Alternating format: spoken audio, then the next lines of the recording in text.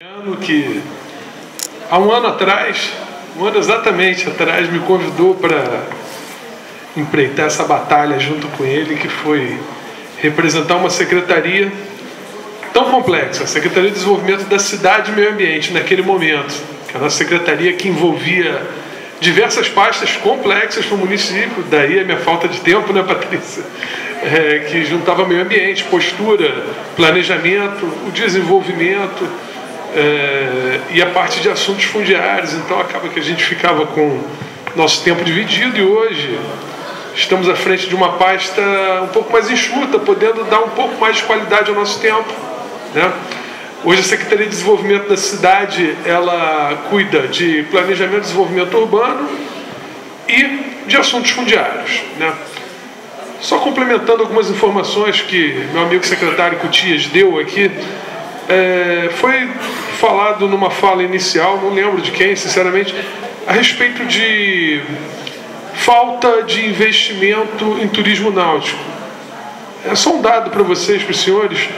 É, na nossa melhor temporada, né, antes chamada de baixa temporada, ano passado trouxemos o campeonato sul-americano de canoas havaianas ao Aloha Spirit que foi o maior evento da América Latina de canoa havaiana.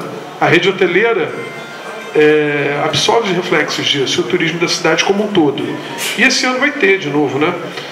É, a respeito do Canto do Forte, fizemos a captação de uma verba de 3 milhões de reais para fazer reforma, urbanização, né?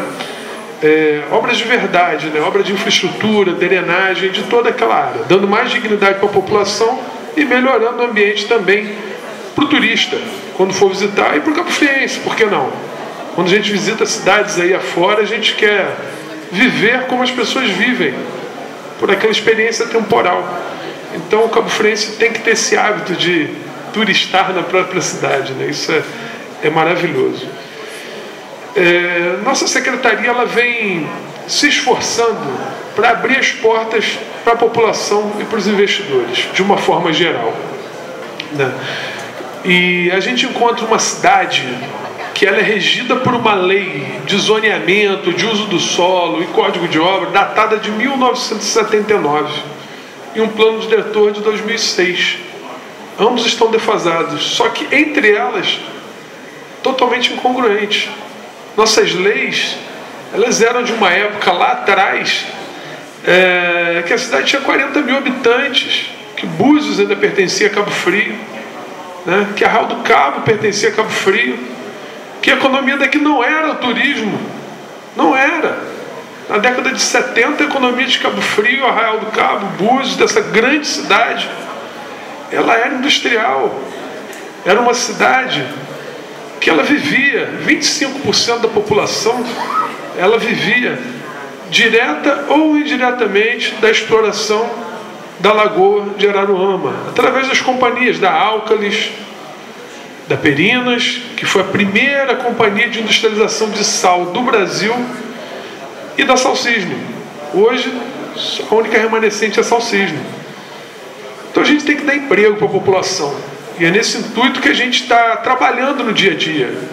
Né? Nossa função enquanto secretário é, tentar convencer os investidores a procurarem outras opções dentro da cidade, porque a especulação imobiliária é, ela é muito grande e a busca por moradia ela é muito grande, mas também a gente precisa de áreas para desenvolvimento da indústria, desenvolvimento do comércio. Baseado nisso, a gente conseguiu sensibilizar o empresário que tem uma grande área que fica no Jardim Esperança entre é, para quem conhece o Jardim Esperança, entre o Minha Casa Minha Vida e a estação de tratamento de esgoto. Lá ele lançaria um loteamento residencial. Trouxemos ele até a secretaria para tentar demovê-lo da ideia. Explicar para ele que o loteamento residencial, sim, a população precisa de casa, mas a população que aqui está precisa primeiro de emprego. Então vamos fazer um loteamento industrial. A gente está na zona de expansão urbana, tudo lá pode ser admissível. Hoje eu cito como exemplo, desculpa não citar outros, mas pode ser o Dado, pode ser o próprio Renato da Pica-Pau, tem uma grande madeireira no meio da cidade, num lote extremamente valioso para a construção civil. Por que não ter toda essa parte de produção fora do município? Né? o Ricardo da DIC, é, o pessoal o Fabrício da Itajuru, ocupando lotes no centro da cidade, lotes onde PTU estratosférico, para produzir riqueza e gerar emprego. Então, por que não a gente buscar exteriorizar isso, colocar isso um pouco mais afastado do centro, dando infraestrutura, né? E na área remanescente, que todo loteamento tem uma área que, é doada à prefeitura. É uma área que a gente está destinando para criar nossa usina de tratamento de resíduos no município. É, hoje a gente joga todo o nosso lixo de Cabo Frio, que todos nós produzimos, é no aterro sanitário São Pedro da Aldeia, que já está saturado. Custa para nós, munícipes, de um milhão a um milhão e meio na alta temporada, o custo mensal de aterro sanitário. Então a gente tem a condição de tratar esse lixo, esse lixo se transformar em riqueza. E é isso que a gente está buscando. E para isso, não é simples, não, é basta, não basta ter uma ideia e, como na iniciativa privada, eu procurar um parceiro e executar. Não. A gente tem que criar todo o arcabouço legal e jurídico para que a gente promova isso. E para isso, o prefeito Adriano, essa semana, já assinou o decreto da PMI, né, para proposta de manifestação de interesses, onde a entidade privada vai poder participar da administração pública oferecendo projetos. E nisso a gente pretende, naquela área, colocar toda uma usina de tratamento, geração de energia e biodiesel advindo do lixo. Uma PMI que a gente vai abrir uma chamada pública, as empresas vão se inscrever, vão colocar seus projetos, a prefeitura vai escolher o melhor projeto, dentro desse melhor projeto, vai abrir uma concessão daquele espaço remanescente nosso, para que alguém cuide do lixo para nós, que a gente economize esse dinheiro. Aí esse dinheiro sim vai poder tapar o buraco da rua, vai poder melhorar a infraestrutura, vai poder também construir creches, escolas, enfim.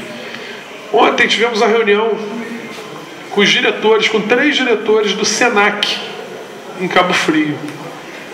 É, SENAC é uma instituição importantíssima, importantíssima para o comércio, né, importantíssima para o microempreendedor.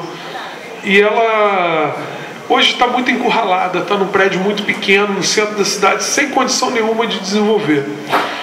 E na reunião de ontem ficou firmado um compromisso verbal, por enquanto, é, mas em fase já de estudos avançados, porque eles já levaram algo substancial lá para o Rio de Janeiro, para que eles tragam o